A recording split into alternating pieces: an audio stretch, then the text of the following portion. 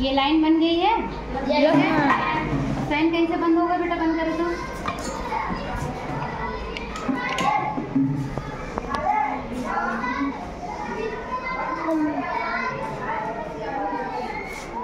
वो बोतल का ढक्कन तो बेटा जो आपके पास है हाँ ढक्कन तो बेटा ढक्कन तो देना बहुत बड़ा है तो आपको दिखेगा कम।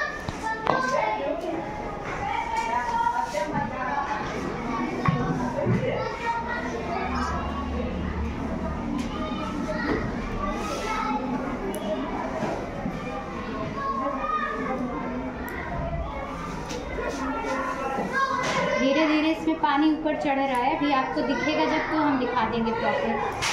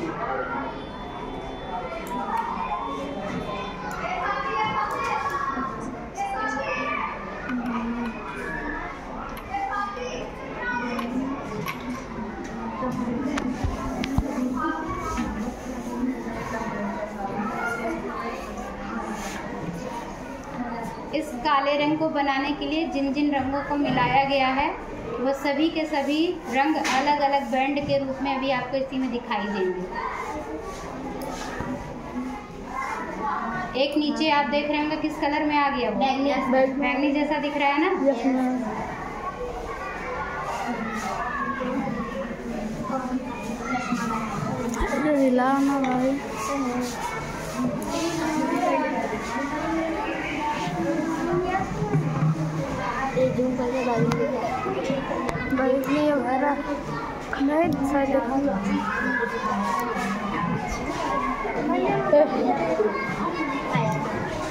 एक बहुत डार्क टाइप का ग्रीन बना हुआ है। यस और उसके ऊपर हल्का येलोइश कलर का पीले रंग का दिख रहा होगा। हल्का हल्का पीला हो गया। होगा तो इसको बनाने के लिए इन्हीं तीन कलर्स को मिला करके बनाया गया है। आप जितने भी कलर्स आपके इसमें दिए गए हैं स्केच में। आप उनको क्रोमेटोग्राफी से पता कर सकते हैं कि कौन सा कलर किस किस रंग को मिला करके बनाया गया है। ठीक है? अब देखिए ये ऊपर तक पहुँच गया है। और इसमें आप अगर ध्यान से देखेंगे तो एक तो बैगनी आपको दिख रहा है ठीक है? और दूसरा ग्रीन कलर की पट्टी और उसके ऊपर का पार्ट थोड़ा थोड़ा सा येलोइश दिख रहा होगा ठीक है? कभी कभी अगर इसमें रेड मिला रहता तो रेड का भी बैंड बनता है दूसरे कलर से करेंगे तो दूसरे बैंड प्राप्त होंगे। समझ में आया? चौक को कोई बर्बाद नहीं करेगा। इस तरीके से ठीक है? और ये है क्रोमेटोग्राफी और क्रोमेटोग्राफी हम कलर्स को अलग अलग बैंड के फॉर्म में इस तरीके से प्राप्त कर सकते हैं। ठीक है? समझ आया कि नहीं? अब अपना अपना जो क्रोमेटोग्राफी वाला है वो ज़रूर देख लीजिएगा किताब में। ठीक? चलिए